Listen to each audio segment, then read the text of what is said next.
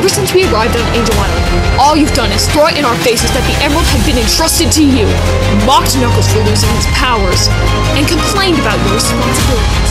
Well, stop complaining, Link Dot. If you're going to be a real leader, grow up and start acting like one. To suspect that Spectra is my long-lost brother, Keith. So I found a way to contact him, and he admitted the truth. Said he would quit the Vexos if I gave him Drago.